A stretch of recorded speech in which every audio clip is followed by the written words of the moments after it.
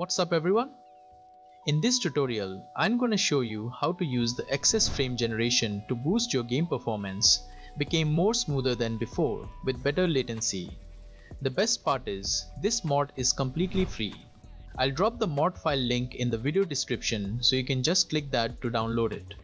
Before installing the mod, go into your Red Dead 2 graphics settings and change the display mode to windowed borderless.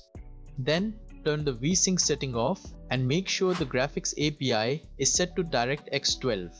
Apply these settings. Now close the Red Dead 2.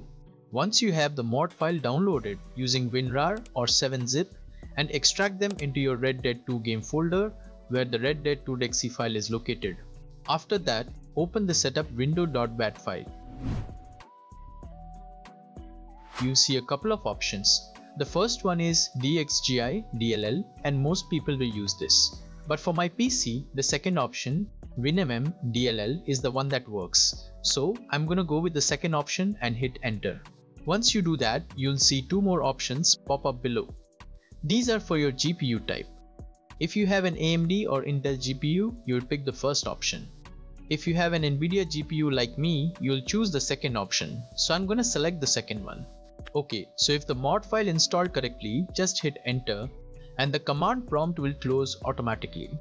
But if you get an error that says access denied, cannot rename optiscaler.dll into winmm.dll file during the installation, it means the security permissions for your folder are limited.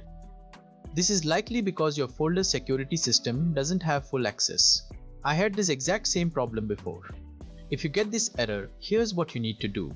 First, right click on your Red Dead 2 installation folder and go to properties. Then click on the security tab, select full control to give the folder full access and click apply.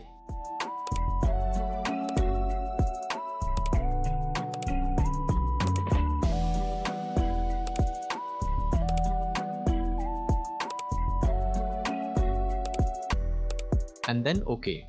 After that, go back and try the installation steps I showed you earlier. That's the method that worked for me. Once that's done, open the optiscaler.ini file and make some changes. Just follow my steps correctly.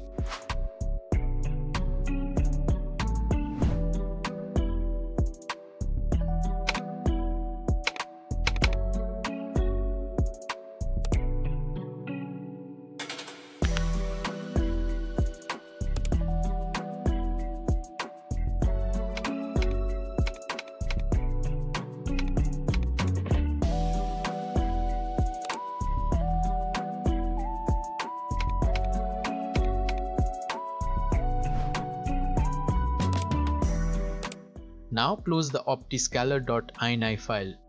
Now go to the DLSS override folder and double click enable signature override.reg file and click yes.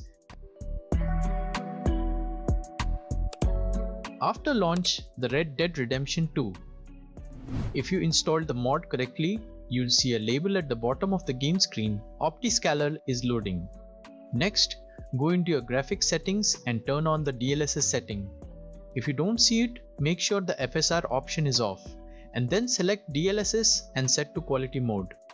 Then apply the changes and then go to the gameplay mode in Red Dead 2. Now press the insert key on your keyboard.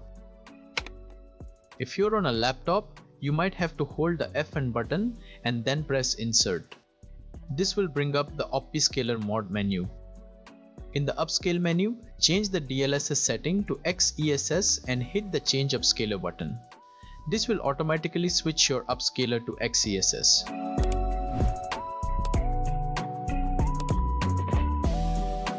Now check the box next to active XESS frame generation.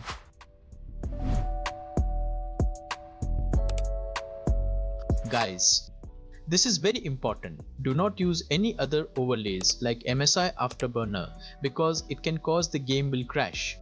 Instead, you can turn on the FPS overlay within the OptiScaler menu like this and make sure to enable VSync to make the game even smoother. If not, gameplay feel more laggy. So turn on the VSync setting. But here the few more issue when using XESS frame generation on Red Dead 2. I've noticed just little bit of the aim flickering you see, but it's not as bad as the LSFG 3.1 version. You can try to fix this by enabling the fix broken visual setting, but it can cause the game will crash, so it's probably best to just play the game as is. Honestly, once you get past those issues, using the XeSS frame generation mod gives you a really smooth gaming experience. I can tell a huge difference because with lossless scaling frame generation, your native FPS has to be much higher to even play the game. Plus, with that mod, your native FPS drops by about 10 to 12, just for the frame generation to work, which then creates the new frames. But with this OptiScaler mod that doesn't happen, your native FPS doesn't drop, so that's the reason latency is much better than lossless scale frame gen. Also, I have VSync on, so my FPS is locked at 75, which makes the game feel incredibly smooth. So yeah, give this mod a try yourself and let me know it how it feels. Now, for those of you who want to uninstall this mod, let me show you how. Go to the Red Dead 2 installed folder and then find the remove optiscale.bat file and you have to open that and type y to completely remove optiscaler. And that's all. So there you have it.